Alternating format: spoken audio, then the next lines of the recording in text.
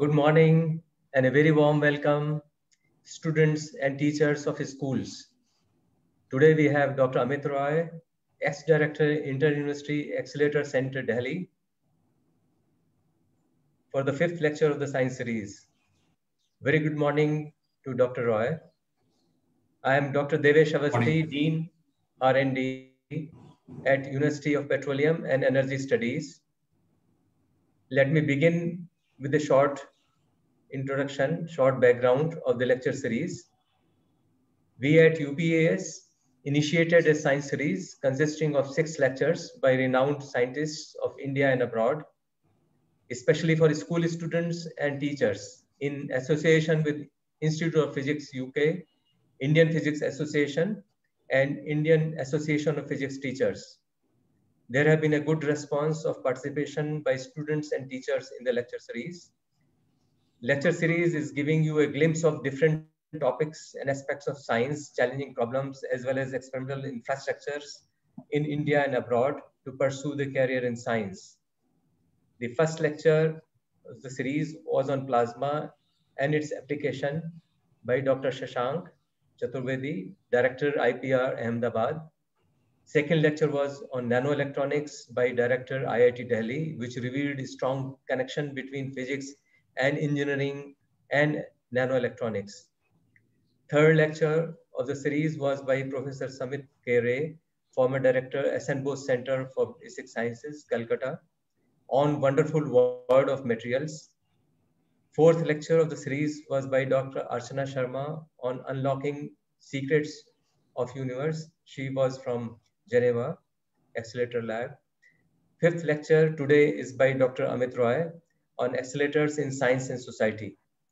I'm thankful to Dr. Amit Roy for sparing his valuable time for lectures to the students. For the information to the students and teacher, there will be quiz at the end of lecture series on 7th August based on the questions from lectures and school level science knowledge. Two quizzes are planned separately for school students and teachers as well. The students and teachers attending the lectures are welcome to participate in the quiz. The prizes sponsored by Indian Physics Association and Institute of Physics UK will be given to winners. Now, before requesting Dr. Amit Roy to deliver his lecture, I will give brief introduction about him. Dr. Roy completed his master's in physics from Delhi University in 1968 and his PhD from Tata Institute of Fundamental Research, Mumbai in 1975, where he continued till 1990 as associate professor. He spent two years at Florida State University, USA as a postdoctoral fellow, and he has worked at KVI, Netherlands, and Argonne National Laboratory, USA as visiting scientist. He joined Inter-University Accelerator Center, formerly known Nuclear Science Center, as a senior scientist in 1991 and was its director from 2001 till July 2013. He led the team for building the superconducting LINAC at IUAC and pioneered the development of niobium superconducting cavity for accelerators in India. He was DAE Raja Ramanna Fellow at Variable Energy Cyclotron Center, Calcutta, till May 2017. Currently, he is guest lecturer at Indian Association of Cultivation Sciences, Kolkata. His research interests are in nuclear physics, accelerator physics, and atomic physics. He is a fellow of National Academy of Sciences in India and is a recipient of Eminent Scientist Award of the Indian Nuclear Society. He has served as member of governing boards and councils of several institutes as a member of many Uh, national and international scientific and technical com committee. He was president of Indian Cryogenics Council for two terms and chairman of the Asian Committee of Future Accelerators for one term. He enjoys communicating science and has written the Great Experiment series in the Journal of Science, Education, Resonance. I myself enjoyed his lectures in schools and workshops for students. He has always been a favorite of his students because of his lectures. I would like to share that I have been scientist in the accelerator laboratory. We, he led the team of scientists as director at IUAC. Apart from being an accomplished scientist. He's a very simple and kind person, always accessible to the students. With this brief introduction of Professor uh, uh, Dr. Amit Roy, now I request Dr. Roy to give his lecture. Over to Dr. Roy. Thank you, Dr. Avasthi, for giving me the chance and opportunity to talk to the students and uh, for your kind introduction. It's a it's a great pleasure for me to be, to be, be part of this uh, science uh, series uh, lectures uh, because it's a very good uh, attempt for you know spreading the science the knowledge of science and in, and infusing the students young student young minds into to bringing in science. Because it's a science has, requires young people. I mean we are all past the past the uh, expiry date for doing good science now. And we like to you know it's always good to see the young people coming in and pass the baton so that they can carry on further and take the country to higher greater heights. So uh, the topic that we have chosen today for this lecture is accelerators for science and society of, course because this is some very some, some subject one subject very close to my heart I, I have spent about half my career in, in you know with accelerators, working on accelerators, making accelerators, and so on, in uh, different places. So I'd like to share some of these things, uh, some of the things which excited me, excites me about this uh, uh area of work to the students. So a very good morning to you all students, uh, wherever you are. I hope you are all uh, in good shape and and and we'll have a time, good time together in this. So let me share my screen. Um, screen is shared, yes. Yeah. So we start with this uh, lecture, Accelerators for Science and Society. Now, accelerators, what are accelerators? Accelerators are tools for the scientists to study one, one hand, very, very and on the other hand, very, very large things as well. As I, I demonstrate that in the second uh, slide, in this, sorry. Yeah, so now you see we have been affected by this, this uh, for the last one and a half years, uh, the whole world has been affected by the pandemic caused by this novel coronavirus. And it has you know, brought, brought everything to, I mean, all our lives have been uh, topsy made topsy-turvy, completely changed because of this. I mean, school stu students cannot go to schools, people cannot go to the labs, people cannot move, uh, you cannot visit your uh, relatives, you can't go anywhere. It's because of the virus. Now, the only, only hope that we have is to get a good vaccine for this, against this virus, so that we can be protected. Now, to do that, to generate a good vaccine, you need to know how the coronavirus, what is the structure of the coronavirus in the molecular structure. Now, in determining this molecular structure, which is shown here in this, uh, in, in this, at this point, you can see this here, the structure of the spike protein, trimeric spike protein of the coronavirus. Coronavirus is like this, looks like a spherical thing with so many spikes. You must have seen lots of pictures of coronaviruses in, in televisions and uh, on, the, on your television screens and also in newspapers and so on and other media. And this, the, the top part of it, the spikes, has this protein, which is the most important part of the virus with which it attaches to the human cell and then infects us. So to get the vaccine, vaccine was designed for this very specific structure of the protein. And this structure is determined using accelerators. This is on the small scale. Of course, accelerators have been done. I'll talk to talk about uh, the how accelerators have been used to even go even smaller structures that looking inside the atoms and what is inside the atoms. And on the other hand, on the go to very, very large structures, if you want to know what is going on in the sun, inside the sun, how does the sun get the energy? You know, we are all living the entire life cycle of the in on the earth all the creatures, living creatures, plants, everything, everything depends on the energy of the sun. We know that. We get a very small fraction of the energy of the sun. So in the sun, tremendous amount of energy is produced. How is this energy produced? You may have heard that there will be some of you may know even that there is nuclear reactions going on inside the core of the sun, in the center of the sun, which produces this, releases this energy, and that's what powers the earth. A small part of it powers the earth. So to understand the sun, you need to have accelerators so that you can understand the nuclear uh, reactions going on. And on the still larger scale, you go to galaxy scales, you can have collisions of neutron stars. You may have heard in the recent past that their neutron star collisions have been observed through the gravitational waves in, uh, in, in, the, in the, that through the new instruments. And one of such instruments for detecting gravitational waves is going to be built in India in collaboration with the US team.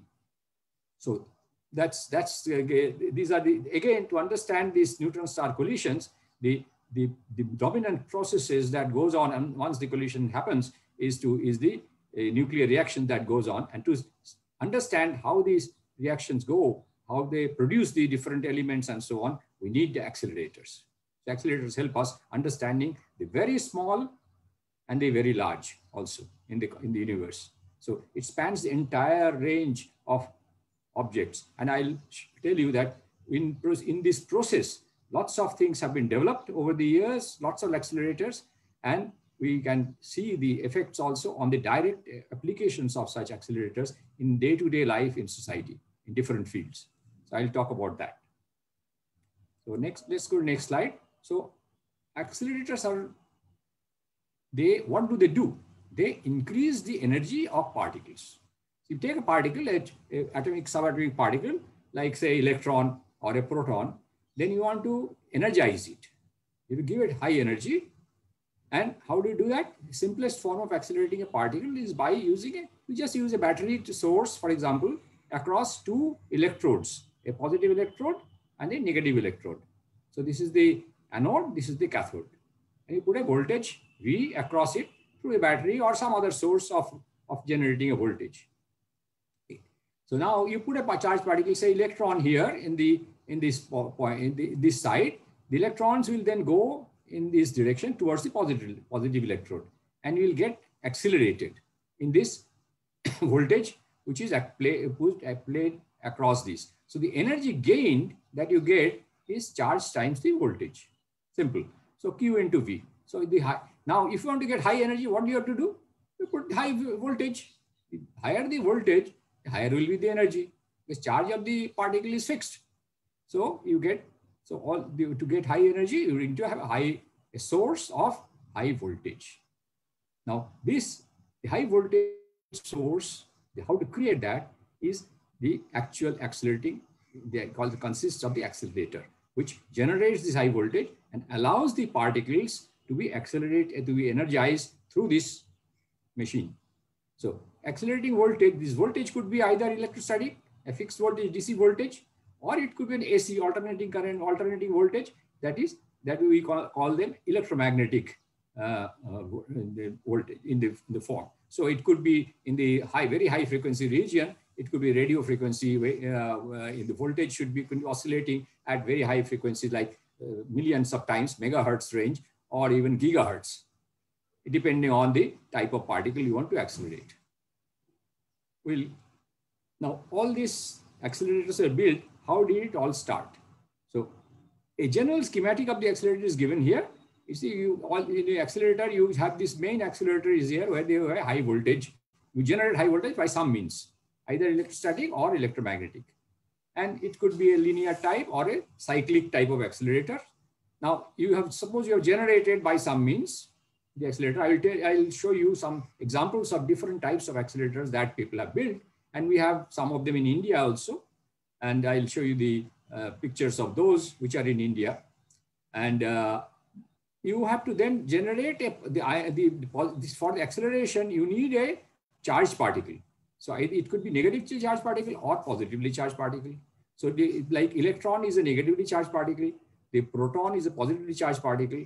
Alpha particle is a alpha particle is a positively charged particle, or it could be ion like a you know carbon ion or a or a oxygen ion, positive ions. So you generate that you generate a place is called ion source is where you generate these ions. That means you take neutral atoms, them all are neutral. So you start with neutral atoms and then you put them in the ion source, ionize the atoms. So you can have generate electrons or and positive ions. Now, depending on what you want to accelerate, you generate the, say, let's say you, you want to accelerate electrons and electrons will be taken. You to put a generate electrons here and then you put it and then this accelerator will be such that they are in the right potential, right potential, say it attracts the electron and push, pushes it further and goes down. Now, after these accelerated the electrons, or if it's a proton, then it's a positively charged particle, then the accelerating voltage will be in the reverse direction. So you just reverse the voltage direction, then your positive ions will get accelerated. But the, but the mechanism could be the same. The generation of the voltage the mechanism is the same. So all you have to do is inverse the polarity. So you in, in accelerate these uh, charged particles to whatever energy you want to study the processes and you put them, let them come and hit a target where you want to put the stop this. You want to see the interaction of the particles with the material which is there in this target. And then it, uh, what happens after that, once it hits, there will be some nuclear reaction taking place. Lots of radiations will be generated. It could be the, the, the, the radiation that are emitted by in the reaction could be electrons, could be photons, that is gamma rays, could be protons, could be neutrons, could be alphas, and so on. So for that, you have to put detectors. Special detectors are, are there, have been developed to see this direction because we cannot see with our eyes and, and, and we cannot feel this radiation. We cannot see the radiation, we cannot feel the radiation. It is invisible to us, to human beings with our senses. So we have to have special sensory devices, which are the detectors. So you have gamma detector for detector for photon gammas, detectors for charged particles. We can detect electrons, we can detect protons, and so on. Detect neutrons also. So even neutral particles have been detected. So all different types of detectors are put around these targets, around this target to catch the all the radiation coming out from this. And that is how you study the process of the interaction of these charged particles, high energy particles with different matter. Now, if I want to study the interaction of, let's say, alpha, part alpha particle, I accelerate the alpha particle, which is I take helium gas here and then ionize it. I produce, produce the positive uh, helium ion, which is an alpha particle, doubly positive charge, alpha particle, then it accelerates it and it hits, hits the target. It could be a gold foil or it could be a carbon foil. Then I, if I put a carbon foil, I will be able to see, study the reaction between alpha particle and carbon. And if I want to gold, gold uh, reaction of gold and alpha particle, then I put a gold foil and so. So the very first accelerator in that in this format, in this form, was the gas discharge the cathode ray tube, which was developed in the 1880s and then was used by uh, J.J. Thomson at Cavendish Laboratory in England uh, to discover the electron. So this is the picture of the of his cathode ray tube where the filament is there, electrons are generated, then it's accelerated to some few volts, and then you have a deflector plate, and then you have a, at the end, you the tube, it's an evacuated tube, partially evacuated tube, and you have the zinc sulfide screen where the electron goes and gives you a, a light particle, emits light particle. It fluoresces. So this is the, uh, this is actually this same device has been developed into a cathode ray oscilloscope, also the television tube. The early television tubes were all this had the same mechanism. And Kevin and Thomson's uh, cathode ray tube was only 30 centimeter long. It's a small device with which he studied the, which he discovered the electron. Now, but now, of course, bigger and bigger accelerators are built, but it started with the, the, the race to build accelerator started with Rutherford's discovery of the nucleus.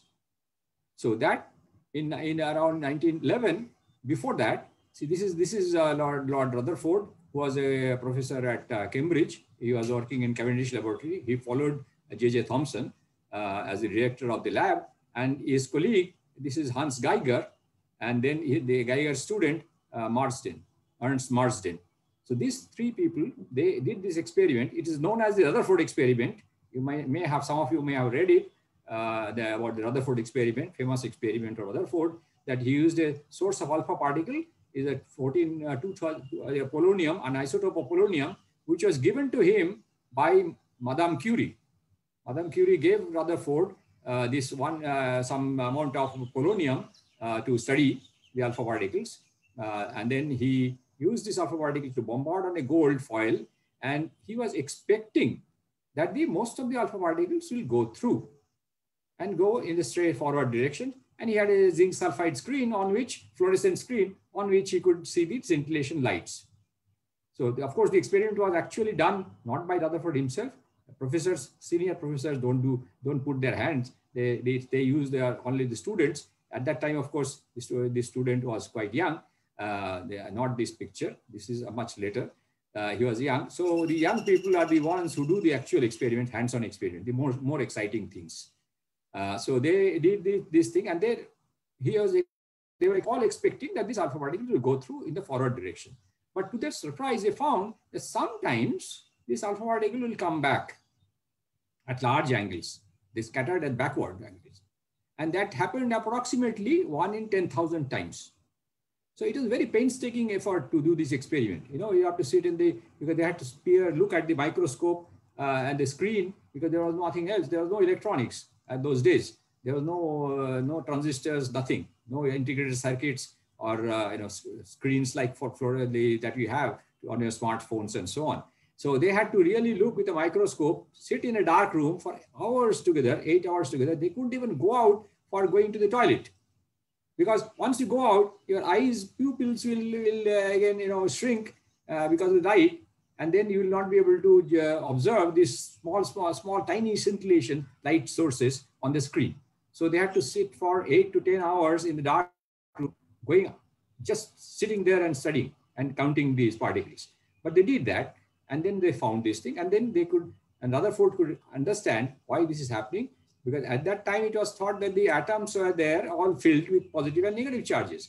But then Rutherford found that this could happen, these alpha particles are coming back only if the positive charge of the atom is concentrated in a very, very small region, about one ten thousandth of the time of the size of the atom. That means atoms, the nucleus sits in the center of the atom and it is 10, one ten thousandth of the atomic size. So if the atom is uh, say expanded into a room, a normal say household room, then the, the nucleus would be like a uh, the grain of sand. The rest of it is void. The electrons are moving around in that. So this is the this is how Rutherford discovered the nucleus.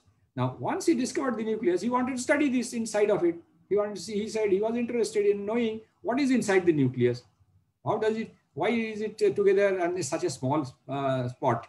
inside the atom. So he said in 27, Lord Rutherford said, what we require is an apparatus to give us a potential of the order of 10 million volts. I see no reason why such a requirement cannot be made practical. That was his statement. But why did he want such high voltages? Can any student know? Have any idea? If you if you know that, you can send me. Uh, say, you can write it or write the answer on your chat screen. think about it that uh, uh, why did he want such a high voltages?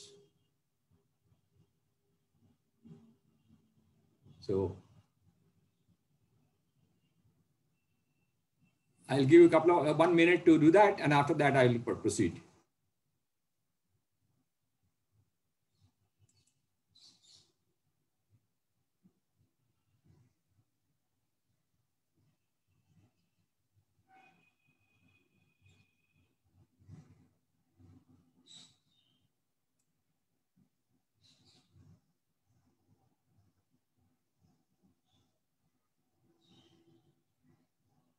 Well, you have none, none of you have come up with that answer, but anyway, let me let me say that uh, the energy is required. See, you take the alpha particle. He was taking alpha particle, which is positively charged, and the gold, the the in the center of the new, which is the nucleus, is also positively charged. So what will happen? Normally, they will repel each other. Two positive charges, they repel each other. So there is a repulsion. So now you have to, to go inside the nucleus you need to overcome that repulsion. So you have to just go over this repulsion and you have to give that much energy. So one can calculate what will be the repulsion. You just take the charge of the, of the proton and the charge of the uh, nu uh, nucleus. It's a gold, which is gold is 79 uh, positive charge is there, 79 plus, and alpha particle is 2 plus. So you can calculate the same using the Coulomb uh, law. You know, all, all of you have studied Coulomb's law. It is the, the, the, the, the potential that you get, the, the energy of the repulsion is Q charge 1, charge 2 into E square, which is the electron charge square divided by the, the distance between the two objects. So if you have to come close together to the very small size, atomic size itself is about an 10 to minus 8 centimeters, 10 to minus 10 meters. And the nucleus is 10,000 times smaller. So it is 10 minus 13 centimeters or so. So if you want to come close to 30, 10 to minus 13 centimeters, see R is very small. So you need very large energy. So it comes to megavolts, million volts or so, several megavolts. So that is why he wanted the particle, the energy or the potential, the potential to accelerate the to energies of 10 million volts he wanted. Because to be able to overcome this Coulomb repulsion and go inside the study the nucleus. So once he gave this call, people started, his students also started. Some of his students started working on these uh, various schemes and many other people started. So this is how the accelerator start got built. And two of his students, John Cockcroft and E.T.S. Walton, they in 1932 succeeded in, the, uh, in making a, a, volt a, voltage of 400 kilovolts they reached in this. This is the apparatus. This is the instrument where they reach this 400 volts at this point, and this voltage is taken there. And then these voltages, uh, the particles are generated here on the top, and they they are, they are they go through a tube, which is an evacuated tube, and then they come down get accelerated by to these 400 volts protons in this case but they use and they here at the end they put a target and they studied this reaction uh, they put a lithium 7 target uh, 7 uh, is an isotope. The lithium exists in two isotopes 6 and 7 so there will be lithium isotope with the mass 7 and then bombarded with these 400 keV protons and they observed that two alpha particles are created two helium nuclei are created. This is the very first nuclear reaction studied by human beings on the earth by created by they, they studied the first time this reaction was made was created in the laboratory now such reactions go inside the stars in our sun so this is where you know the, the, the comes that you you want to study the processes inside the sun you have to create these particles bombard it and then see what happens how the reaction proceeds. So this is the schematic of the uh, voltage. Uh, it's called a voltage doubler circuit cascade generator. Those in the electronics, it is one of the early uh, lessons in electronics. You, those who are interested can, will be able to look at it and say that you just put a, it's a, it's a, it's a coupling of some capacitors and diodes and you put it in a certain pattern, that the voltage gets doubled. So you put a AC voltage and you get the uh, twice the, you get DC, DC voltage of you can generate it depending on how many parts of the circuit you can repeat repeat this thing and you can get this increase in the voltage. So this is called the cascade concept of Greinacher cascade generator.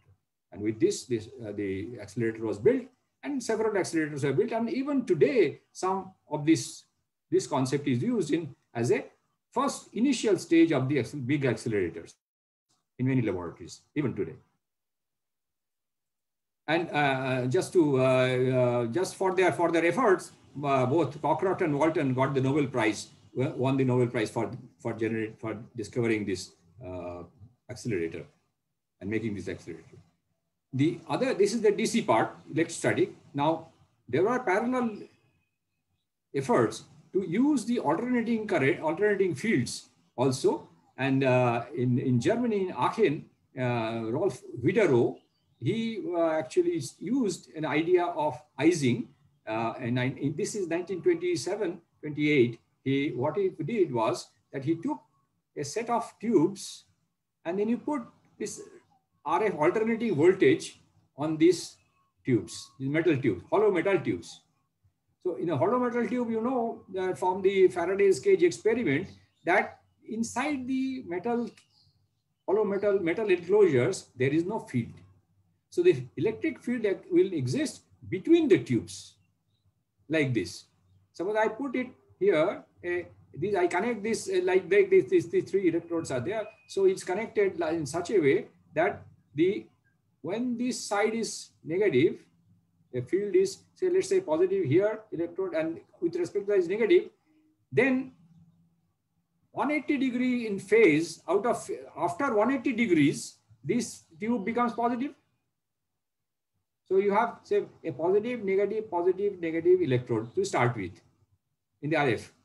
Now you as the particle moves and you adjust these lengths of this of this tube such a way that by the time the particle comes from one end to the other end, the phase of the, the RF voltage has changed by 180 degrees. So when it is at this point, it sees a accelerating field because the positive ion comes out, a proton comes here or and sees this, this attractive field. So it gets accelerated at this point. Then it starts moving in a field free region. So it just goes with the same velocity. As it comes here at this point, by that time, this electrode has changed to positive and this has become negative. So again, it gets accelerated, kick, acceleration. It comes here, then again, it moves in a field-free region and it, as it comes to this end, the, the voltage has changed by 180 degrees. So it has gone again, it gets another kick and so on. So by adding these tubes in alternate uh, ways, you can and generating these and these voltages and adjusting the gaps in such a way that the particle follows the and they are always in phase at the right time. They uh, approach the gaps at the right time. They match the, the velocity and the and the phases match. So then it gets accelerated one by one. It just keeps on getting accelerated. And you can generate high voltage. In fact just aside uh, for this thing uh, something to learn that Widerøe, when he, made this scheme, he went to his uh, supervisor for his PhD, and his supervisor said, no, no, no, this scheme will not work. Uh, it's too uh, complicated, and you are in, high, in vacuum and high voltage, all this RF, it will not work. This you will not be able to match the phases, and this uh, system will not work at all. Uh, so you do some other, take some other problem and solve it. But Widerøe was uh, determined that he wanted to do it. He understood that it can be done. He was very sure, and he built it. He built the apparatus in spite of his uh, professor. So, and he got this succeeded in accelerating these uh, potassium ions in the first uh, shot to about 50 kilovolts. And he wrote his thesis and he got his, uh, got his PhD. So a lesson to learn for young students that if you are convinced about something and you know that you are, your arguments are correct, it doesn't matter. You don't have to respect the authority. So you just, if the authority, any opposition or anyone in authority positions tells you, no, it cannot work. But if you are convinced it can work, you should, you must give it a try because you never know. So everybody doesn't know. So you have a, you have a good idea and you are convinced about it, you must give it a try.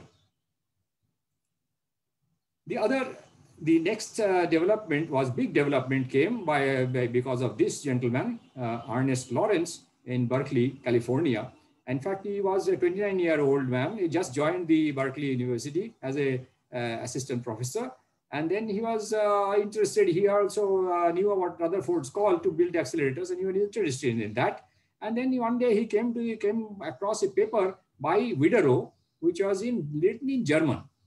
Now Lawrence didn't know Germany, German, but then he saw the diagrams which he had that Widerøe had built it, put in his, in his paper, that he could see the diagram that the particle is going, that, like I showed here, the tubes were there, and then the alternating voltages are there and so on. So he said, ah, this is a great idea. I must uh, use it to make this thing. Then he had thought about something. Said, you have to put in, you know, high voltage you want to generate, you have to put lots of tubes, one after the other, and keep on doing. So it becomes very long. So he thought a very, very, very clever idea. He said, let me take a, RF uh, electrode like this, where I, I accelerate the particle. Then I put it in a magnetic field. I put it in, in between two magnets, this, this RF field. Then what will happen? As the particle gets accelerated, the magnetic field in the perpendicular direction, we'll bend it in a circular form. So the particle will keep on going in circles. So he started with this, for example, these two Ds are there. So this voltage is connected to this D-shaped electrode. See this white space, space in between. And this and second D is this. And he put an ion source. The source of ions is put in here through this tube. And it is also inside vacuum. And now the particle comes out here, gets pulled to this electrode, and then it travels in a circular path. As it comes to the gap here, this gap, the voltage has flipped by 180 degrees. So it has, it gets accelerated. As it gets accelerated, it gets larger energy and it moves in a circle of wider radius, larger radius. And it goes in here. As it comes here, it gets a kick again, and then it gains further energy. But the magnetic field is there, so it bends it in a larger radius and comes here, and then keeps on going like this. So it increases, as it gains energy, it increases in radius. And then finally, when it end, comes to the end of the magnet, then you cannot go any further because it will go and hit the walls. So at that point, you said you take it out tangentially. You, you just give a small deflection and so that it deviates from the circular orbit and it goes out. And then you take it through a vacuum tube wherever you want to your study place, the target, the chamber in chamber where you put your target and you study them. So this particle, this is the weight of, that means you, the same voltage source, one electrode, one set of, one pair of electrode, two Ds, is able to generate much higher energy by making the particle go in number of circles. So in a modern cyclotron, for example, when he built it, and with his student Livingston, they built this first cyclotron was only four and a half inch in diameter. You can hold it in your palm. And they could accelerate protons to 80 kilovolts with this small accelerator, small cyclotron. He called it the cyclotron because particles are going in a cycle. So this is the cyclotron principle. And with this, and this is the, the feed through the uh, in a high voltage source and etc. The various connections that he has put in inside the vacuum chamber. And this was done by Lawrence and Livingston. This is the first one. And Lawrence won the Nobel Prize in 1939 for devising this, this cyclotron. Because after that, he went on to build lots of uh, cyclotrons of bigger and bigger and bigger and bigger sizes. And the last one he built was, uh, was accelerating protons to 350 million electron volts. It's a 184 inch cyclotron at Berkeley, uh, where he, Lawrence was the head of this Berkeley lab. And that lab has been renamed uh, in honor to honor Lawrence as the Lawrence Berkeley Lab today. So a similar cyclotrons are there in the in our country. There is in, v, in the Variable Energy Cyclotron Center in Kolkata. We have a, a big accelerated big cyclotron which is 88 inch diameter. The diameter is 88 inch, uh, about more than seven feet diameter, and particles are accelerated, and these particles are coming out of this thing, and then they a magnet can either uh, direct these, these particles to different, different uh, areas through these vacuum tubes and they can do the, people can do experiments. So one can set one experiment and do on the, and on, while doing the experiment, other person, another person can set up their experiment, their two chambers and so on. And uh, you see the, at the cyclotron center, they have also built uh, a, another one, which is using superconducting magnet. So it's called a superconducting cyclotron and this uh, can uh, accelerate, this one can accelerate particles to about 100 MeV, and this can accelerate particles to 5, 600 MeV or so, mega electron volts, for doing nuclear physics studies. This is in Kolkata. Now we have uh, the other, uh, the, the, the, electrostatic field, electrostatic accelerators went further, uh, and this uh, by the 1931 by Robert Van de Graaff, he generated the called the Van de Graaff accelerator, where it's a charging system instead of the doubling system of the of cascade generator, which Cockcroft and Walton did, they used a charging belt system. So you have insulating belt running from ground to the this terminal potential, high voltage potential. So it keeps on running at a reasonably high speed and you throw charges here at the bottom and you collect charges here. So slowly the charge is built up. It's like a charging a capacitor. So it's a uh, so you voltage that you reach is the the, the voltage uh, is equal, given by the capacitor and the capacitance and the charge that you put in. Okay, Q equal to CV. Charge is CV. So you get the voltage is Q by C, the charge that you have put in divided by the capacitance. So with this, you can, you can generate potentials of the order of 15, 20 megavolts inside in vacuum. And it could be a, a, a, a either in the, early, in the early versions, it's all a, insulated belt which was running. Uh, and then uh, the, the later versions, they, they, another, thing came up where there is still pellets linked with insulators, a pellet chain which is runs, and that that device gave the name of this uh, machine to Pelletron. And there are two Pelletrons in the country.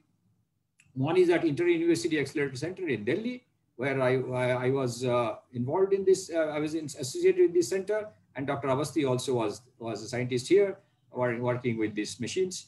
And uh, the other Pelletron is in the at, uh, at Tata Institute of Fundamental Research in, in Mumbai where I spent my half first half of my career I spent with the here at this point at this institute. So uh, so this is the these are the electrostatic accelerators. Uh, this is the kind of end of the electrostatic accelerators. You cannot go very much beyond 15, 20 megavolts, maybe 25 at the most, uh, because you cannot sustain that direct, direct, directly the DC high voltage, steady stationary high voltage of such a high voltage in, in, a, in any atmosphere. In, even for this, you cannot put it in air. You have to put a very special gases at high pressure so that you can hold this voltage. Uh, the other type of linear accelerator types, which you, uh, which I showed you, with the, which was developed by the concept was given by uh, that also got modified into a number of uh, different uh, versions with different types of accelerator, uh, different types of accelerating sources. And we have two such linear accelerators in India, one at again at IUAC and TIF, Tata Institute of Fundamental Research. So here are these accelerating cavities. This is made of niobium at uh, operating at, at liquid helium temperatures so that it becomes superconducting. And so with a very small amount of uh, power, RF power, you can generate very high voltages. And so one after the other, the particle goes through this, this there are tubes inside and the particle goes through and gets gets kicks at every every of this every point here and then finally gets energized so these are the uh, two accelerators of this type in in india and now we have the the other accelerator we have big accelerator is at uh, raja ramanna center for advanced technology indore where the cyclotron concept is is modified somewhat in the sense that instead of the single one magnet which is big where you start at the center and in cyclotron you go on uh, increasing the radius. And because there is a limit finally of the size of the magnet that you can be one single magnet. But this is this concept avoids that. And you can go further and make much bigger accelerators. Is called the synchrotron principle where you fix the orbit. Orbit is fixed the particle always go around this particular circle particle, all the particles will go around the same circle. But what you do is, how do you get energy? As you put, put these particles in, the magnetic field here, all these magnets that, that hold, that bends these particles in this circular track are together ramped up. That means the field is slowly going up as the particle energy keeps going up. Every time the particle goes through a RF field, it gets energized and then the next magnets also get slightly higher value. You increase the current in the magnets. These are all electromagnets. So you increase the current along with the particles as the energy goes up. So this is synchronously energizing the part the magnets along with the particle energy. So this is let's say called the synchrotron principle. That means they are in, together in time, synchronous at the same time. The particle energy goes up, the magnetic field also goes up. So this is how the synchrotron works. And we have a synchrotron in, uh, in at Raja Ramanna Center where electrons are accelerated this particular ring. In this ring, it uh, accelerates electrons to 2.5 giga electron volts. That means 2.5 10 to the 9 electron volts is generated. Now, what do we do with this? These synchrotrons have the property, the electrons, when they go to very high energy, as they are going, changing the direction, as they change the direction, you know, when they change the direction, there is an acceleration you know about the centripetal and centrifugal forces. You have learned about that. So whenever changes moment, the velocity changes direction, that's a there is a force acting on it. and it's there is acceleration or deacceleration. So when it's such thing happens, the particle will this particle will radiate. Which is these electrons being light, they radiate because the energy is relativistic. They are very close to the velocity of light, and they can generate radiations in, in copious amounts. This is called the synchrotron radiation. And this radiation will be in the could be in the X-rays region. It could be it could be soft X-rays, a few electron volts. Uh, so uh, several hundreds of electron volts, or it could even go to depending on the energy of the of these uh, electrons and the magnetic field, uh, the how much, how fast they are moving and how sharply they bend. That that will that will give you the wavelength of the radiation emitted. It could go into hard X-rays also. So these X-rays are generated and these X-rays are used for many, many applications. So in the in, the, in this industry, there are uh, some 32 experiments can be performed simultaneously. And this is the actual picture of the installation. It's a 180 meter uh, circumference, goes like this. These are the mag magnets. You can see blue ones uh, here, and there's pipe. Through this pipe, the electrons are going. And they have two rings. One ring it's 450 MeV. In the is called the Indus one. This was built first, and then the second ring was built, which is 2.5 GeV. And in fact, using this, this kind of uh, this, this kind of uh, the synchrotron radiation, the structure of the coronavirus was determined using the synchrotron radiation. In fact, not not we not in India, not our Indus, but other synchrotrons abroad. In in Argonne National Laboratory, there's a, again a synchrotron source that was used first time to measure the coronavirus structure and determine that. Later on, other people, the many many laboratories all over the world also confirmed that structure through using their synchrotrons.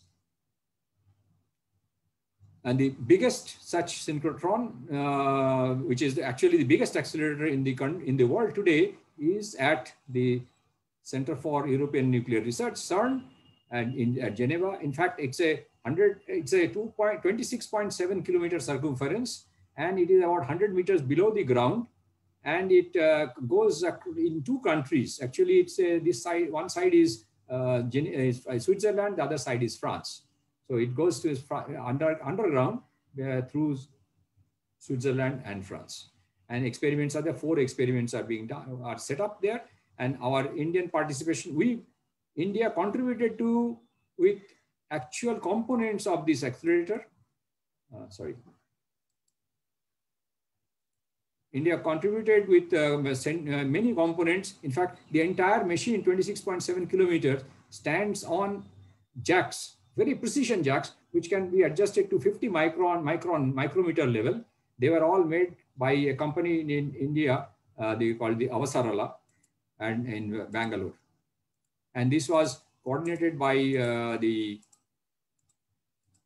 RRCAT team they took the they they were uh, they were uh, coordinating the activities and they supplied all this stuff several magnets also were supplied and we, we uh, and because of the we could we would supply them they gave us a status observer status in beginning. Now we are as associated member of the cern community. And in these experiments also there are their indian participation and contribution. In fact you might, might have heard sorry this uh, is jumping around. I don't know why. Let me get back to my slide. Yeah. So this uh, the con the contribution you must have heard that there was a Higgs boson that came out in 2012, which is called, the ultimate particle people are looking for. And many Indian Indian uh, teams from different universities and institutes are involved in the experiments. In these two experiments, the CMS and the and the Atlas here, Atlas experiment and CMS experiment, where they, they participated and to this for the discovery of the Higgs boson. So this is the, uh, okay, now we go to the, what are the, so this is the story of the accelerators, the how they developed over the, over the time, uh, and then uh, the subjects that we study in accelerators is are this uh, nuclear and subnuclear physics, atomic molecular physics, astrophysics. why is jumping around.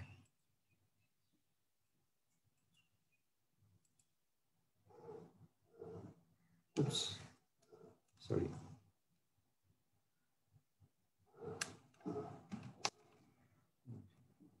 Yeah. So we study this uh, material science, biosciences, and all for all the all the very various sciences are there. I will not go into details of all of them because this is a, these are very uh, each of them will be you know several lectures you require to understand all the how these are done. I will give you only three examples. So two will be from uh, nuclear and subnuclear physics, and one in the from the uh, archaeology geosciences in that in that archaeology and environment.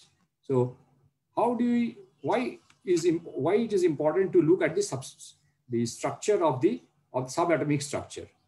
This is I I'll like to tell you about that. That this is we can take snapshots of the system. Now, when you when you observe anything, you want to take a photograph or find out what is inside. What the most one of the important things is the resolution of the system. Like for example, in the microscope, you want to see small objects. You need to know the resolution of the microscope. Now, what does it depend on? It depends on the wavelength of the particle. The smaller the wavelength, the smaller, the higher will better will be the resolution. You'll be able to resolve things close together, closer together, if you can use a smaller and smaller and smaller wavelengths, right? So beyond a point, light is light wavelength. We know the our visible light wavelength is, is, is only about 400 between 450 nanometers to about 800 nanometers. So you cannot see you can see cannot see the structure of objects smaller than this size. So you want to see the smaller sizes, you want to go to higher energy or smaller wavelength photons. For example, you can take X-rays. X-rays will give you, it can, it, can, it can give you pictures of the atoms because X-rays of the wavelength is of the order of the atomic size. So you can give that. Now, if you want to go inside the nucleus, this 10,000 times smaller. So you generate the wavelength of the 10,000 times smaller. Now, there is no known way of generating photons of that type. But we can use the principle which Louis de Broglie, he, uh, this gentleman who is uh, shown here, his picture is shown here, uh, he generally found out in 1929, he gave a postulated that every particle has a wave associated with it. It's called the wave particle duality. It's one of the idea, the basic ideas in quantum mechanics. So I, I don't think you have uh, at this at this level school at the school level you study quantum mechanics, but you will do it in the college level, so you'll know about it. But just suffices to say that every particle has a wave associated with it depending on its velocity, and that is lambda is the wavelength is given by the Planck's constant h divided by its momentum. Now, momentum in a, in a when you small velocities, you can write as 8 by 2 mass, twice the mass and the energy product, square root of that is the momentum, right? P square by 2m equal to energy. So you can get, you can see that if you increase the energy E, the lambda wavelength will keep going down. For example, if uh, the energy, when you accelerate an electron to 1 MeV energy, its wavelength is 1.4 10 to minus 13 meters. And when you accelerate the electron to 1 GeV, that's at 9 EV, its wavelength goes down to 2 into the minus 16 meters. Of course, the same that 2me formula will not work here because this is a very, very high energy electrons and they move close to the velocity of light. So what is called the, the Einstein, Einstein special theorem relativity will have to be applied. And so you can calculate the, uh, the velocities in that, in that form on the wavelengths accordingly. So this is the, but this is the figure that you get. So now you want to, you can see this now, that if I want to study objects of the order of the size of the nucleus, I have to go to several MeV electrons. And then only I'll be able to see inside the nucleus. So that is why you use the high energy machines and then you do the same Rutherford type of experiment. You throw the high energy electron, bombard it on different uh, nuclei, and you can see the inside of it. And first, the nuclear, it was found that's the nucleus, how the nucleus and protons are arranged. And then if you increase the energy further of the electrons, then you can start seeing inside the protons and what is inside the neutron. And this was this was found that as this is the, in the cartoon, it is shown here that see from the atom, the first Rutherford around 90 years ago, he discovered the nucleus. And then, uh, then the nucleus was discovered. The inside of it was measured in around 1960 or so, the nuclear sizes and insides of it were found in 1960s. So that's why I call it 60 years ago. And then uh, around eight, in the late uh, 78 in that region, 70s region, the inside of the protons were found by increasing electrons still further uh, the uh, to GeV energies, and you can start probing the inside the nucleus with the, with the electron, the wavelength, uh, de Broglie wavelength of 10 minus 16 um, uh, meters, you can see inside the proton. And now we know that the protons and neutrons also consist of quarks and something else called gluons. So this is the quarks and the electrons have sizes less than, we don't know if there is anything inside them or not so far, because the energies that we have reached with these accelerators so far can only probe, this is the smallest size of 10 minus 16 centimeters or so. So, and that size, the we have not seen so far any further structure of the electron and or the quarks at this level. So we don't know. If we go to still higher energies, we may, we may be surprised. Maybe something else is there, but that's for the future. So this is the this is one of the things, of the major uh, thrust of the uh, research in nuclear and subnuclear physics. This finding the structure, and this is where it stands today.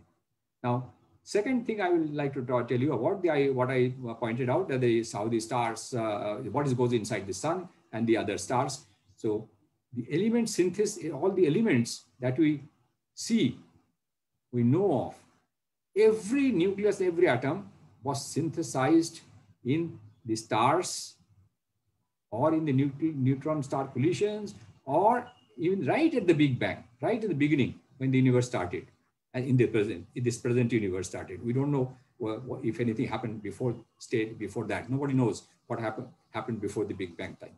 But Big Bang onwards, which is 13.7 billion years ago, this happened. Big Bang, the universe started expanding and started cooling down and then the particles were created and they started fusing together to produce the high up bigger heavier and heavier elements and this process is the to understand that so these are very high energy again to produce these reactions you need to overcome the coulomb repulsions and when you for that you need energy and so you you to understand how the elements are formed properly you need to know which elements are formed when and at what rate they are formed. So that can be studied by using accelerated particles in the laboratory. This is what we do. In fact, all these centers in India, this kind of studies are going on and in and other places in the all, all over the world. And we have uh, people are collaborating, they do always collaborate and because all facilities, any, any single place, single laboratory cannot have all the facilities of all the types of detectors, all the types of accelerators. So we go to different laboratories to do different aspects of the studies. But the opportunities exist to do things in India as well as in collaboration with the foreign labs because we are partners. Now, the, all these things that we have learned today is till now in doing the studies so far in the laboratory that in the sun, 600 million tons of hydrogen is being converted into 596 million tons of helium every second in the sun.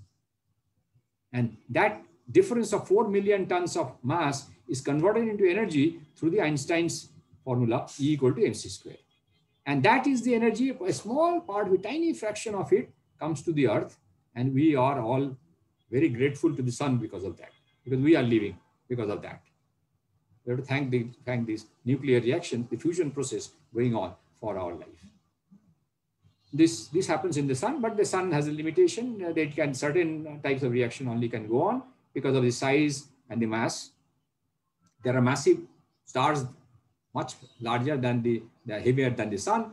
And in massive stars, if, the, if they're greater than five solar masses, what happens at the end of this fusion process, fusion process will stop at certain point where you can get energy by fusing. And that can that will stop. This fusion process can release energy only up to the iron cobalt nuclear region. After that, if you to fuse two, try to fuse two iron nucleus to produce something bigger, heavier, heavier element, you cannot succeed because it, it will not it will not happen because by fuse by fusion, it, the heavier product you have to supply energy. It doesn't generate energy. You have to supply energy to for the to fuse. So it's a what is called in, chemi in chemistry endothermic reaction. The fusion for light elements is exothermic reaction. It produces energy. Whereas for heavy, heavier than iron, if you want to produce, then it becomes endothermic. So you have to supply energy. So you cannot do it. So there are other uh, mechanisms are there.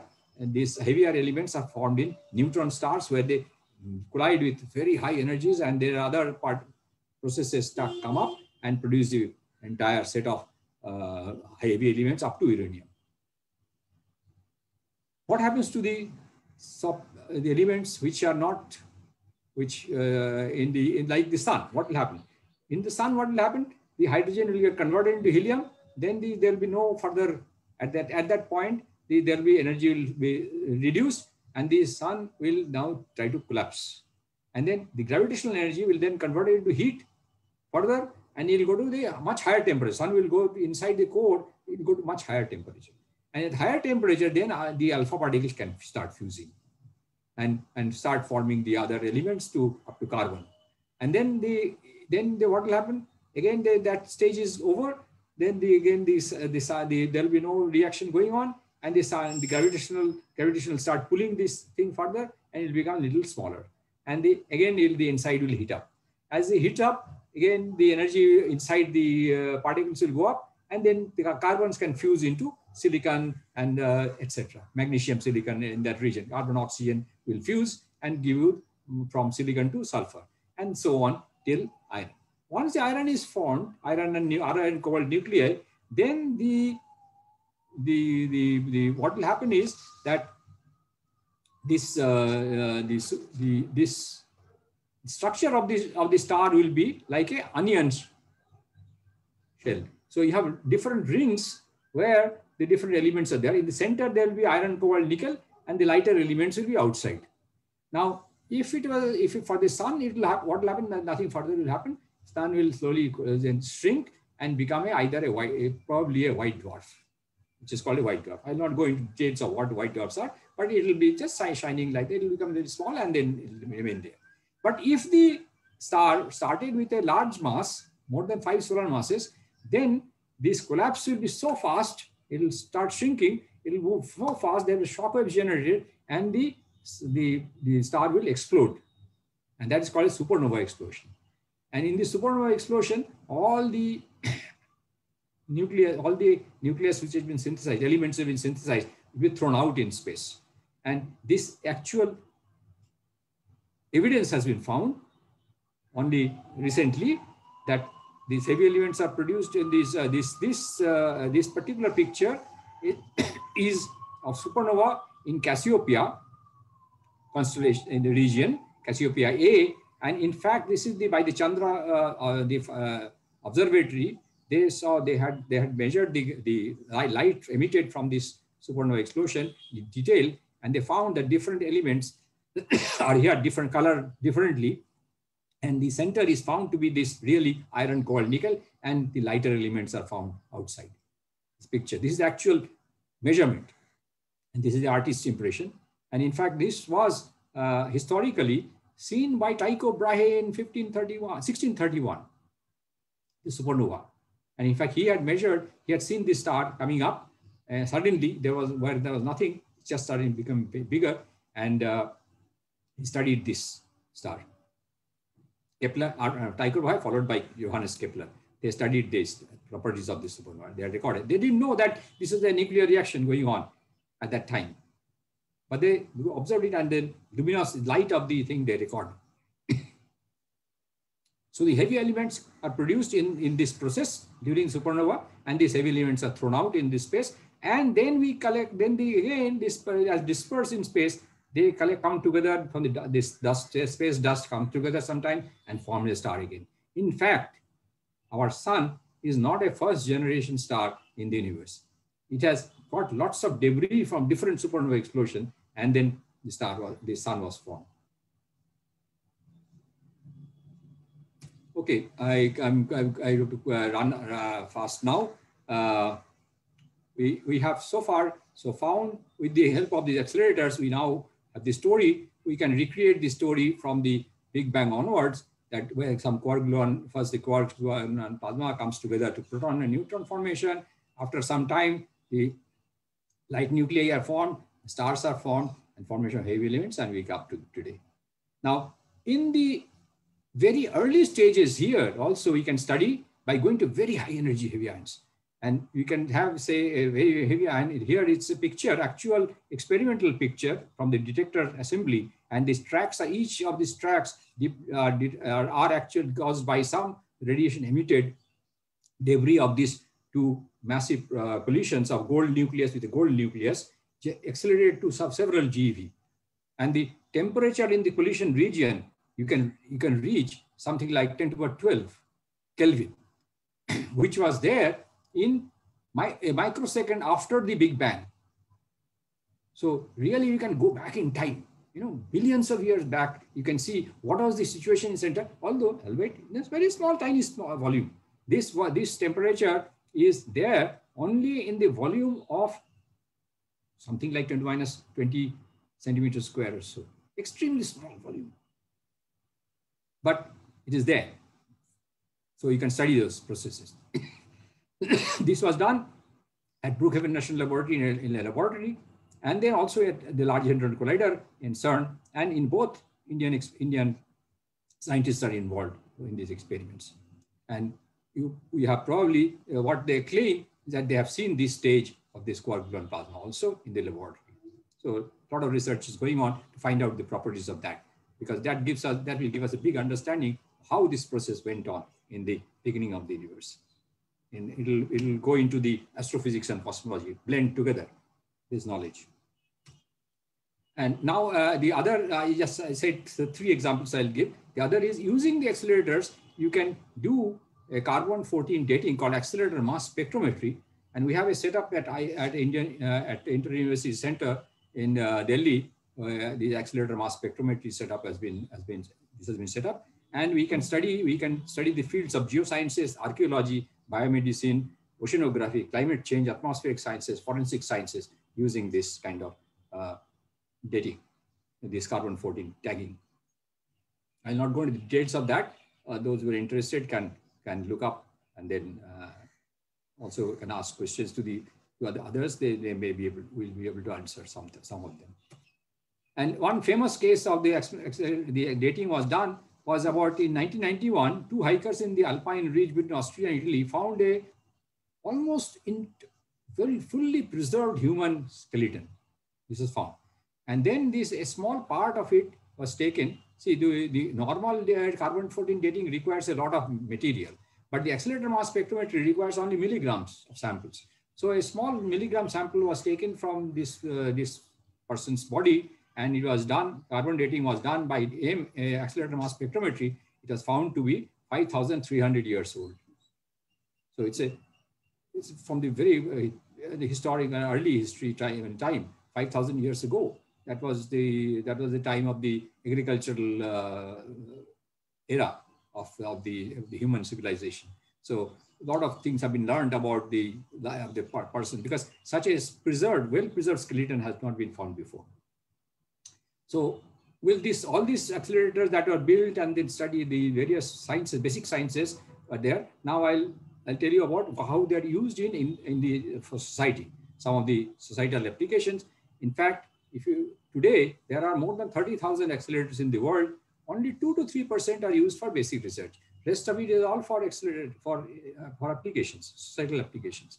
So why are the accelerators useful for for studying this for the societal purposes? What properties? The accelerators produce nuclear radiations like the the gamma rays or the charged particles and so on. And the properties are these high energy particles have high penetrating power. They can go inside the matter very easily because they're very tiny. You know, they, they are of the, the size is approximate. I mean, the, the, the area they penetrate is 10 to minus 12 minus 13 centimeters in that sense. So they just can go through between between two atoms in a, in a material easily, no problem. So go penetrating power, they can ionize because they have a lot of energy. They can ionize the, uh, the, the material along the path and we can, since the energy is is high and they have characteristic and this thing, they are extremely sensitive. We can detect them in very small quantities. We don't need large amounts to detect them. We have, we have developed very sensitive detectors for such things while doing this basic research. So it's I, there's a, a, the application in semiconductor industry. It's used for uh, making uh, MEM devices, micromechanical uh, devices, Uh, then uh, in ion beam aperture lithography, you can generate patterns which can be used for ion implantation and making different semiconductor layers for the, you know, today we have these seven layer uh, PCBs or 10, uh, nine layer PCBs. And for that, to do that thing, ion beams are used for generating devices, such things. Medicine, of course, is a very large, big application of uh, radiation in medicine. And it started along right from the beginning of Lawrence. When Berkeley, mother of uh, Ernest Lawrence, was the first cancer patient who was treated successfully with neutrons produced using accelerated ions from a beam in cyclotron. It happened because Ernest Lawrence's brother, John Lawrence, was a doc, medical doctor. So they, they did that. They, as soon as Lawrence you know, made the first the cyclotron, big cyclotron, then in 1939, then uh, they generated neutrons with that, and then it was used. And he, this picture shows a person which is being adjusted for thyroid uh, irradiation at the cyclotron setting up. Of course, nowadays you can't do that, these kind of things, but there are more, many more safety protocols are there. So uh, the, the, you will not be able to, when you go to a, a, a hospital and get uh, treated by a accelerator, you will not know that the accelerator is there. It will be just a small room with a, a small aperture or something coming in and then uh, irradiating that part. And you can do positron emission tomography. You can generate this, this, this kind of radioactive nuclei, which are actually, it's a antimatter. Positron is the antimatter, uh, the opposite particle of, of electron is the anti-electron, it's called the positron. It has all properties of the electron except that the charge is positive. And when the positron comes with the, close to electron, it, it, both of them annihilate and two gamma rays are emitted and these gamma rays can be, they, they are always emitted in opposite direction. So if you detect one of them and the other, and the both of them you can detect, you can find out where the emission came from. So you can locate the position very well. So this is the location of tumors is done through this technique. So this is called positron emission, positron emission tomography.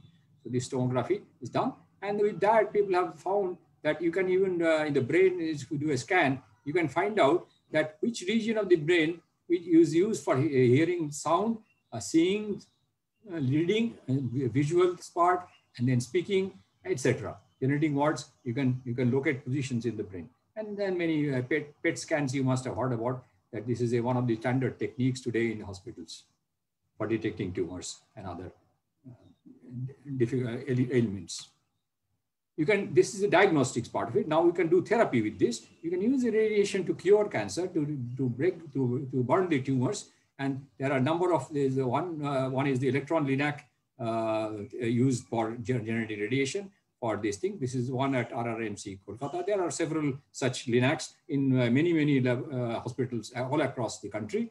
Every, almost now, almost all major uh, uh, hospitals have a small electron linac for doing this treatment of tumors.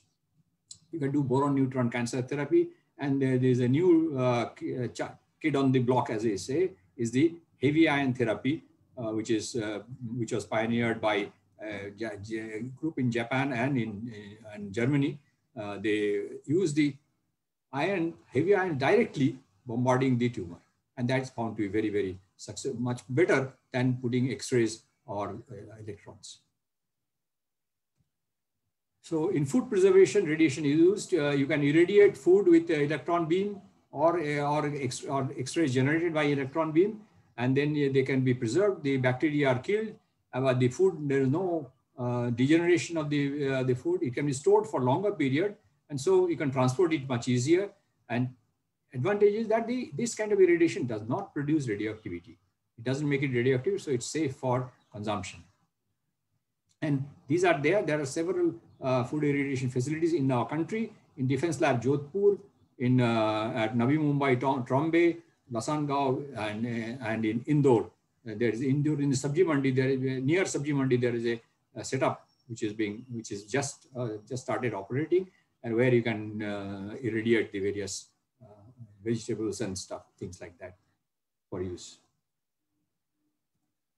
you can do security, you can do cargo inspection system, you can put a uh, X-ray, beam, strong X-ray beam generated by linear electron accelerator. and then you can put the X-ray as the as the uh, vehicle. Suppose the vehicles keep going through a, a tunnel, and you put this shine this big, strong beam of X-rays, and you can take a picture, and you know what is inside the inside the truck. So if there's a cargo going on, which is uh, contraband or not, we'll find out. And this is non, you don't have to uh, open the truck or anything. And the reason why the accelerators are used is that you do not, if you take radioactive source, have to be protected for all the time. Here in the accelerator, the advantage is the radiation is gone the moment you switch it off. Once you switch it off, you, there is no radiation. So only during the, uh, when you put it on to take the exposure, at that time the radiation is there. So at that time you take precaution and the rest of the time it's free. It's, there is no other radiation. Now, energy generation is another area which you, uh, you must have uh, heard about. The fission is one of the uh, uh ways of generating uh, new electricity uh, from fission. Reactors are there, which are used for generating electricity. And it's one of the cleanest and environmental friendly ways of doing this generating power. You can, this, this particular bar graph shows the form the carbon dioxide generation from coal, from gas, from hydro, from solar, even solar. Solar and hydro are supposed to be very clean, but you see so much of carbon dioxide can be generated not by the process, but the, making the devices which go into making this hydro and solar power. For example, in making the solar cells, you need, uh, there is a lot of carbon dioxide generation.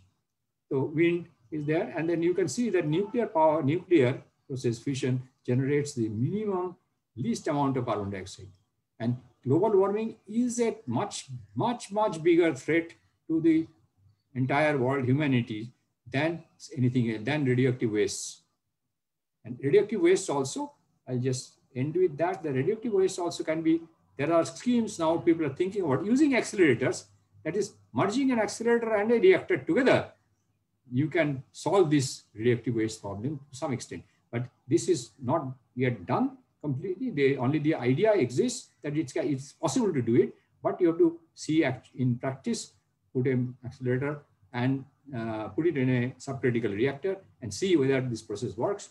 In principle, proof of principle has been done, but the actual implementation, mm, every there are many, many projects in the world, including in India. We have a program of the Department of Atomic Energy, which has taken up this one in China, there is another program they are doing following. European Union is following another program, and uh, USA also some some program is going on in this direction for this using how to change this waste product, how to get rid of the waste product as soon as possible in the fission reaction.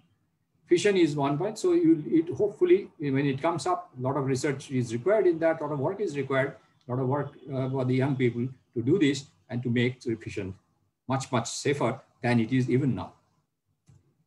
And uh, we have uh, uh the other another uh, example of the outcome, a, a side uh, by byproduct of the accelerator research is the World Wide Web, which we are, which, without which we cannot live today. We can't even think of. Without the World Wide Web, will be all, you know, will be all, our lives will be very difficult today because we are so much used to it.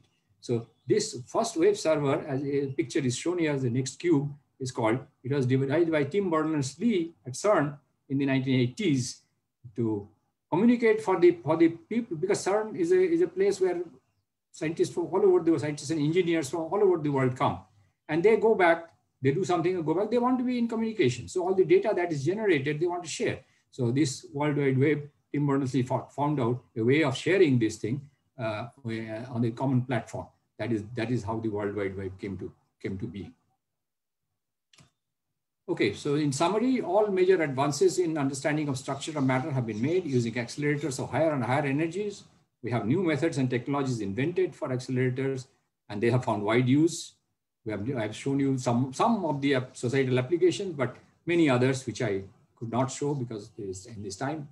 And we, but we still need to invent new technologies for still higher energies because we still do not know the ultimate structure of matter nor what the uh, energy, what the what the applications could be, even in at higher energies. So we need to that. It's a exciting challenges for young researchers to get into this field and contribute to both basic research as well as to society. Thank you. Yeah, thanks a lot, uh, Dr. Amit Roy, for an interesting lecture on accelerator in science and society. You very nicely uh, explained different basic principles involved in different type of accelerators and took example of accelerators in chronological order. What was the need of increasing energy in a very simple manner. You also gave a glimpse of accelerators in India in a complex structure and machineries.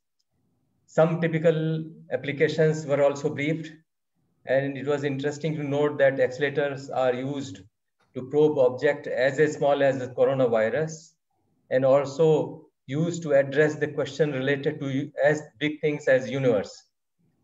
All the areas of science, atomic, nuclear, materials, geoscience, astrophysics, etc., are studied by accelerators and very nicely touched upon you, including very interesting applications in different areas.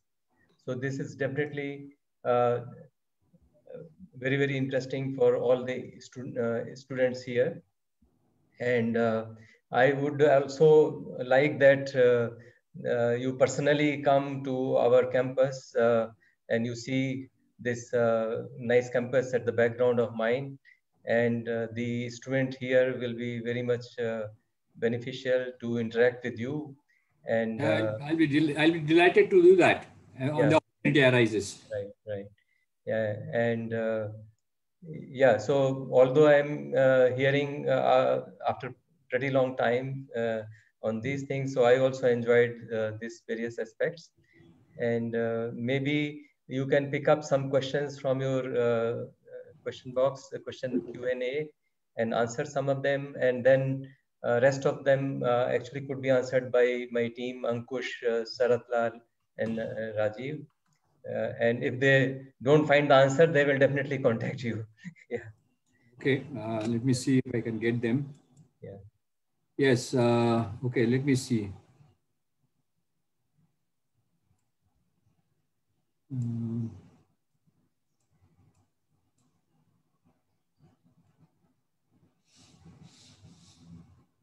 okay, uh, I think Vikayat Srivastav has asked uh, the energy is neither created nor destroyed, only converted from one form to other, then where does it come from? Well, as I showed you, the for the energy, when you energize a particle, it comes from the electric field. So energy that you you have, put, you have to connect that electric to generate the electric field. You have to put a source of power, uh, uh or normal you know, electric power, which is there, 250, 230 volts. So it's coming from that. So a small part of the electric, that electrical energy is going into the particle. That's the answer for that. What's the first particle? Uh, Varnit uh, has asked, uh, what is the first particle discovered through accelerator? That's the one I showed you, the J.J. Thomson. He discovered the electron uh, using the 30 uh, uh, centimeter cathode ray tube. That was the first particle, elementary particle discovered through using an accelerator. Okay. Um,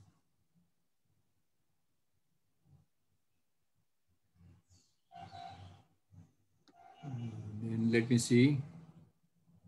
Uh, any other question? What is the name of the latest accelerator developed?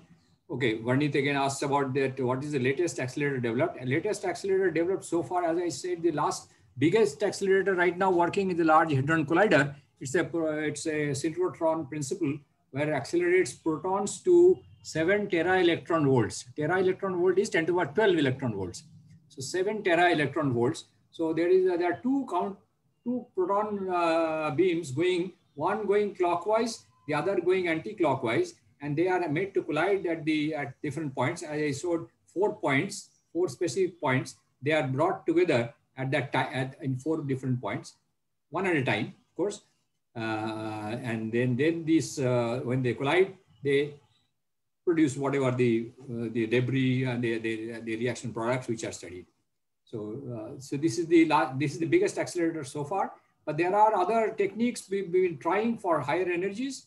There is a, there, there, we are also trying in India. We are part of the international team. There is a, a scheme for doing an international linear collider. There is, I mean, our our uh, all the accelerator labs like in IUAC, BARC, RRCAT, VECC, they are all involved in that program. and uh, they, they will be trying to make a proper accelerator where 30 kilometer long uh, electron and positron will come and collide against each other. This is the thing which is in the anvil, but it's not, these accelerators cost a lot of money. I mean, several billions of dollars. So it, no single country can do afford it anymore. So we have to make consortia of all the countries in the, in the world come together. And so when they come together, there is always, you know, the governments have to support the money, who will do how much and so on. So that those things are going on, still not decided finally. But this is the next step, which one we, all the accelerator physicists in the, in the world, they are thinking of going for an international linear collider. Uh, there are schemes, the Chinese have, have also mooted one scheme of making a bigger, large, bigger ring. So they want to uh, build a bigger ring. And that's also, people are discussing that. And in and CERN also, they are thinking of a bigger ring. Uh, that is another uh, possibility, larger ring uh, which will go to higher energy protons or higher energy, uh, things like that. And the most important thing is that other way, this, this is a, this is, this is a, so far the conventional way of making accelerators using the actual cavities and things like accelerator structures. Now, what when one uh, the another possibility is using lasers. Uh, this is a very promising field. It's it's uh, it's still in the in the experimental stage in laboratories, that you put a very high power laser, laser and then focus it. At the focus, you can generate extremely high electric fields of gigavolts per meter. Even 10 to 12 volts per meter, 1000 gigavolts per teravolts per meter can be generated by concentrating a laser power at a very small spot.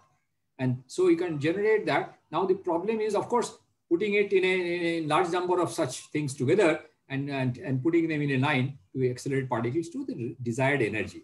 So those things are to be worked out, but the people have seen some initial star glimpses where you focus the laser, you can you generate high energy particles come out of it, of the of that focus region yeah, on, a, on a, system. So there are schemes people are working on. In India also there's some work on this going on in RRCAT Indore as well as TIFR uh, Mumbai and the, the, new campus of TIFR at Hyderabad. They are working on these things, uh, laser plasma, laser acceleration, laser-based acceleration of particles and in the world also all over the all over the world in you all the advanced nations have they have schemes of the, trying to work on these things so that's another possibility which is uh, which can give much much higher energy okay. now let us go to somebody uh, Yash Rana asked about dark matter, dark energy, and strange matter. And that is outside my range of to topics today. Uh, I, I, think uh, we'll uh, I, I will skip that because they there already Rajiv Kumar has, uh, Rajiv Gupta has, uh, Dr. Rajiv Gupta has already um, said something about that. Uh, I think they can go, they can go ahead and, uh, and do that. So we'll, uh, I will not. So there is one uh, question on how the energy comes from the sun. So I think you mentioned some in your lecture about that hydrogen goes to helium and that. So yeah, that, yeah yeah, right, right, right. The, for the sun, it is the it is the hydrogen fusion, mainly hydrogen fusion, which is going on in the sun today. And uh, there are there are a number of reactions that goes on. It's not just you know for hydrogen coming together and forming helium. There is a set of reactions. The hydrogen first proton uh, uh, combines to give deuterons. The deuteron and, and then and forms tritium proton, and then tritium and deuterium can fuse together to give helium. And this this kind of there are different chains and uh, Hans Bethe, a, a, German physicist who was in America, in US afterwards, during after, before Hitler's time, during Hitler's time, he Bethe was Hans Bethe was the first person to give all these reactions to work out the how the detail of the reaction goes on inside the sun and the, how the energy is generated. And each reaction is actually producing energy because yeah, each, each reaction gives you some amount of energy, and then together together, together you get a certain amount of energy in one in, on an average, if you had four combine four protons to give alpha particle, you get about something like 25, uh, 26 MeV of energy. And that's how you can calculate total when you four, 4 million protons get dis destroyed, how much energy will come. Yes, quarks was discovered through an accelerator. Uh, quarks were discovered through accelerator. Not directly, quarks cannot be seen, but the quarks effects are seen that, that quarks are there, we can we know that quarks are there because of the products that they product come out. The the uh, the what the quarks generate, they uh, they that that debris of the quarks uh, through that that they come, they come out of the high energy accelerators. And then you can measure them and work backwards and say that this is the actual because of the quarks. This was discovered in, in uh, accelerator. So uh, even the high energy, uh, Gurshin Kaur asked about uh, the large, energy high proton, high energy proton beam is invisible to human eye. Yes, it is invisible to human eye as such. Uh, but sometimes, you know, very high energy particles directly are not visible to human eye, but there is one effect I must uh, point out here. For the, uh, the people who are, who are astronauts or cosmonauts, they, when they go up in space, in space, there are some high energy particles when the particle, when the high energy particle goes through your eye, then directly you don't see it, but then in the in the in the uh, what is called the vitreous humor, which is there in the eye, the the filled the uh, the eye is filled, eyeball is filled with some liquid, and when the particle high energy particle goes through this liquid, you can generate you can generate flashes of the of bremsstrahlung, and that flash can be can have been observed by astronauts. So it's like a detector I actually detector is a nuclear detector in that case, but they are very, very, very uh, not a normal event. So actually, there are uh, lots of questions. I think uh, you have picked yeah. up enough, and this uh, uh, rest uh, will take care. Yeah. And I thank you once again. And I will also like to thank the my colleagues, panel members, Dr. Rajiv, Dr. Sharatlal, and Dr. Ankush who are behind the scene and Mr. Siddharth from the IT sector uh, managing the whole thing. And uh, students are requested to fill up the uh, this feedback form, which is there.